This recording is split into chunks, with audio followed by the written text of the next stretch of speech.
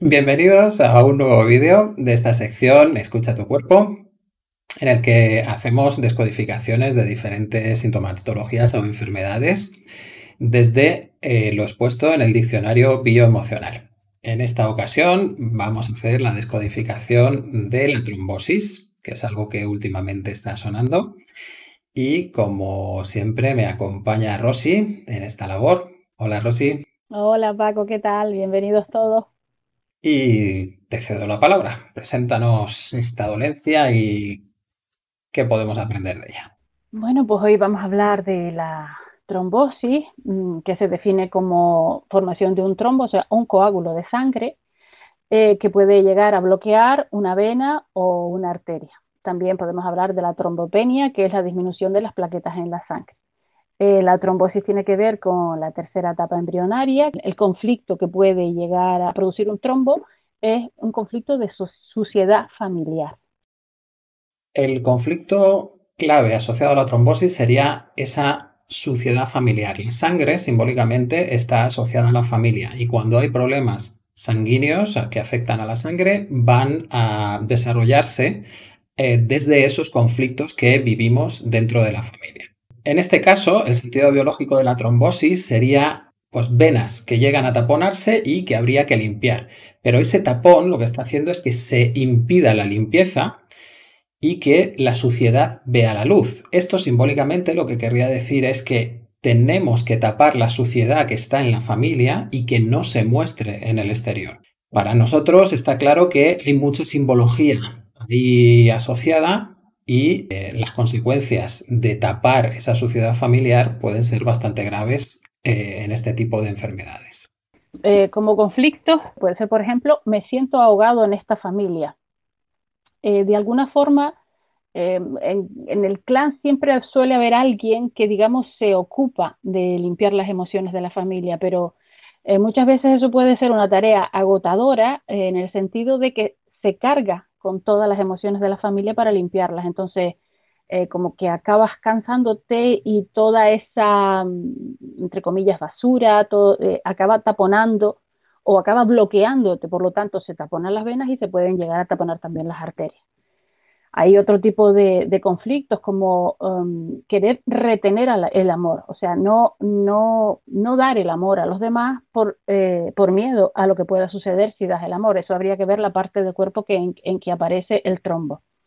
Pueden haber eh, trombosis arteriales, no puedo contar con mis hijos, por ejemplo, o mi familia me impide conquistar un territorio alejado, eh, si aparece en una arteria pulmonar, podría ser un conflicto de no sentirse perdonado por la familia. Ese suele ser bastante importante porque eh, somos, animales sociales y necesitamos estar en contacto con la familia. Entonces, el hecho de que la familia nos aparte o no nos perdone puede ser, generar eh, un conflicto bastante grave. Simbólicamente, el corazón es el hogar de la familia y cuando la sangre llega al corazón estaría en esa casa, en ese hogar. La sangre sale del corazón por las arterias, por lo tanto, tendríamos que añadir ese aspecto a los conflictos de los trombos. Cuando se producen los trombos en las arterias es algún tema de salir de casa, llegar a algún sitio, mientras que las venas recogen la sangre y la llevan al corazón. Por tanto, en las venas se expresarán los conflictos cuando no puedo volver a casa o cuando tengo problemas para llegar a casa. Tenemos también la trombosis venosa, la trombosis esplénica o la trombopenia. La trombosis venosa es mm, la sensación de no poder volver a casa, de no poder eh, eh, estar con mis padres, que mis padres no me permitan estar con ellos o que no poder contar con ellos. Eh, me, autocastigo por haber, por haber cometido algún error o por haber sido algo, no haber cumplido con el papel que la familia esperaba de mí. Eh, la trombosis esplénica, existencia en peligro. Esta es muy, muy peculiar porque tiene que ver con el vaso también. Y la trombopenia es no soy capaz de luchar. La trombopenia, como ya dijimos antes, tiene que ver con la disminución de las plaquetas en la sangre. En general, la, trombosis puede presentarse en cualquier parte del cuerpo, eh, dependiendo de dónde se presente, el conflicto será de una forma o será de otra. Lo primero que me viene a la mente serían, por ejemplo, esas varices, que son trombos que se producen en las piernas o brazos y que generalmente se producen en, mujeres mayores. Esas mujeres, como ha comentado Rosy antes, pues serían como las que se han encargado de llevar a la familia, serían como las matriarcas y son las que estarían encargadas de hacer esa limpieza de lo que sucede en la familia.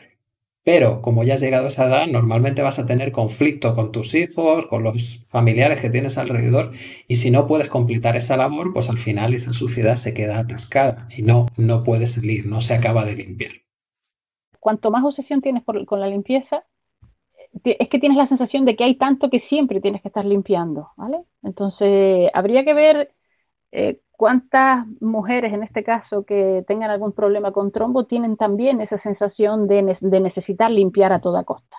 Sí, que no llegan a conseguirlo, ¿no? Limpiar del todo.